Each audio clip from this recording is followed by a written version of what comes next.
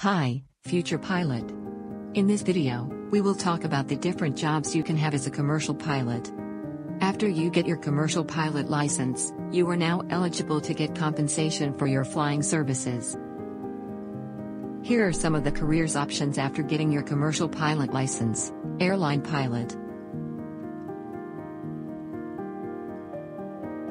Cargo pilot.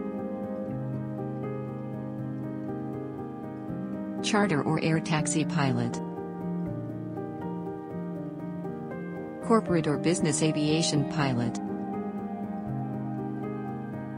Flight instructor.